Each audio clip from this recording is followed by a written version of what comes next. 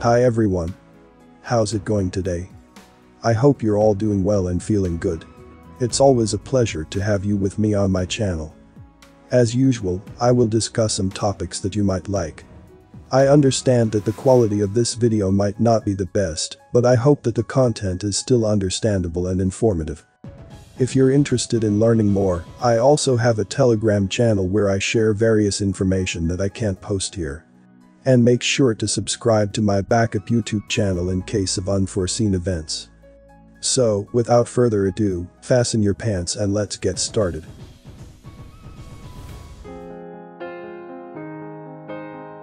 The government wants us to believe that we have nothing to fear from its extensive surveillance programs as long as we haven't done anything wrong. Don't buy into it. Adhering to every law doesn't guarantee safety. The government's definition of a threat is very broad, leading to the unwarranted surveillance of innocent, law-abiding Americans on a massive scale. For example, it recently came to light that the White House, exploiting privacy loopholes, has been bypassing the Fourth Amendment by compensating AT&T to grant federal, state, and local law enforcement access to phone records of Americans not suspected of any crime without a warrant. This surpasses the NSA's metadata collection program, Operational during the Obama, Trump, and now the Biden administrations, this covert surveillance program, formerly called Hemisphere, now named Data Analytical Services, uses its connection with the White House to evade numerous privacy and transparency laws. According to Senator Ron Wyden, Hemisphere has operated without oversight for over a decade, purportedly targeting drug traffickers. This is how the government routinely violates the law, all under the guise of national security. More than a trillion domestic phone records undergo scrutiny annually through this extensive surveillance initiative, targeting individuals without warrants, not just those suspected of criminal activity, but also anyone they may be in contact with, including spouses, children, parents, and friends. Hemisphere is not solely utilized by law enforcement agencies focused on drug crimes to bypass the Fourth Amendment. Those trained on the program include postal workers, prison officials, highway patrol officers, border cops, and the National Guard. This program is prone to abuse, and you can be certain that it's being exploited. Surveillance, digital tracking, and the data mining of the American people, tools of compliance and control wielded by the government, have not made America safer and certainly do not contribute to safeguarding our freedoms. In fact, America will remain at risk as long as the US government is permitted to violate the Constitution. Before I continue the video, please give a like if you learned something. Also, don't forget to subscribe and click the notification bell so you won't miss any update. Finally, watch until the end to avoid any misunderstanding. Thank you. The Fourth Amendment was designed to act like a protective shield around our persons, property, activities, communications, and movements. It's meant to keep the government out of our private affairs, except in specific exceptional situations. These situations are clearly outlined. Government officials must have probable cause that criminal activity is occurring, a higher legal standard than reasonable suspicion, as mandated by the Constitution, before they can search an individual or their property. Regrettably, all three branches of government, the legislatures, courts, and executive offices, have granted the police state significant latitude in circumventing the Fourth Amendment. Consequently, on a daily basis, Americans are already compelled to disclose the most intimate details of who we are, our biological makeup, genetic blueprints, and biometrics, facial characteristics and structure, fingerprints, iris scans, etc., just to overcome the increasingly daunting hurdle that now defines life in the United States. We are essentially considered guilty until proven innocent. Unrestricted widespread surveillance is the embodiment of a government that has become lawless, acting on its own accord without regard for the Constitution. Dragnet surveillance, geofencing, fusion centers, smart devices, behavioral threat assessments, terror watch lists, facial recognition, snitch tip lines, biometric scanners, pre-crime, DNA databases, data mining, precognitive technology, contact tracing apps. All of these elements contribute to a world where, on any given day, the average person is monitored, surveilled, spied on, and tracked in over 20 different ways by both government and corporate entities. This unsettling new era of government and corporate spying means that we are being observed, listened to, tracked, followed, mapped, bought, sold, and targeted every second of every day.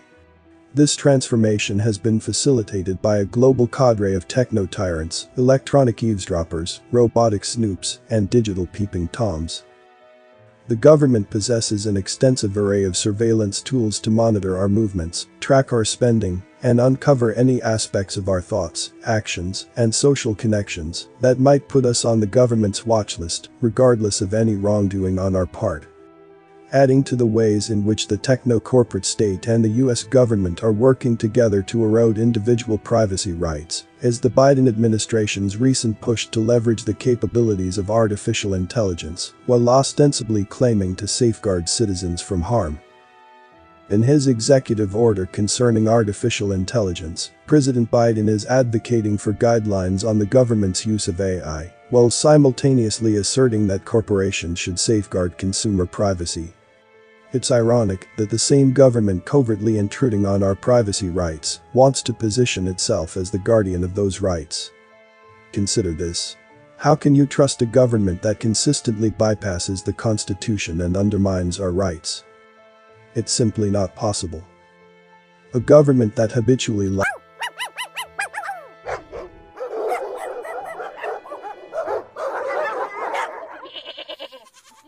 at almost every turn cannot be relied upon. At the very least, you should not entrust the government with your privacy, property, or freedoms. Whatever else it may be, a threat, a menace, a danger, the US government certainly isn't prioritizing our best interests. Keep in mind that the fundamental role of a good government is to safeguard the lives and liberties of its citizens.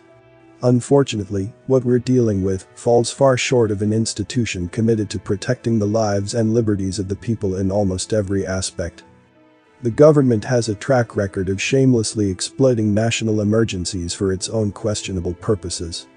They has been capitalizing on such crises for years to increase its control over an unsuspecting and largely trusting population. This is precisely where we find ourselves now in the midst of a showdown between the rights of the individual and the so-called emergency state. All those cherished freedoms we hold dear, the ones protected by the Constitution, affirming our right to free speech and assembly, due process, privacy, bodily integrity, and protection from unwarranted police seizures and searches, all become meaningless when the government and its agents can ignore those restrictions on government overreach as they please. This is the harsh reality of life in the American police state. Our supposed rights have been reduced to mere technicalities in the face of the government's ongoing power grabs. While surveillance may take various forms and occur in diverse situations, the consistent factor is a blatant disregard for the rights of the citizenry. With each court decision that allows the government to operate beyond the rule of law, every piece of legislation that curtails our freedoms, and every instance of government misconduct that goes unpunished, we are gradually being conditioned to accept a society in which the Constitution holds no significance.